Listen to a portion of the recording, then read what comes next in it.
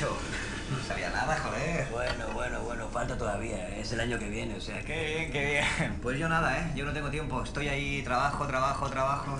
Estamos todos igual. 12, 14 horas diarias, que llego a casa que no me apetece ni hacerme una paja. Estás normal.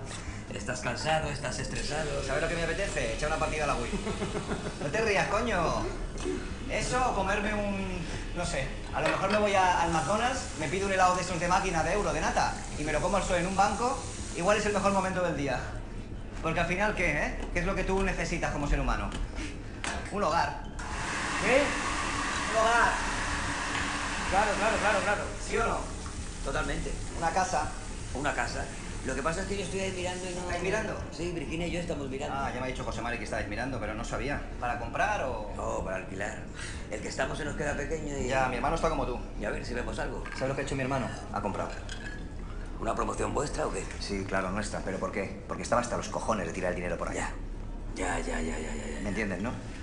Pero es que comprar. Si puedes alquilar, puedes comprar. Tal y como está la burbuja ahora. La burbuja, si la burbuja está ya o ya. Si mi hermano paga de hipoteca menos que lo que pagaba de alquiler.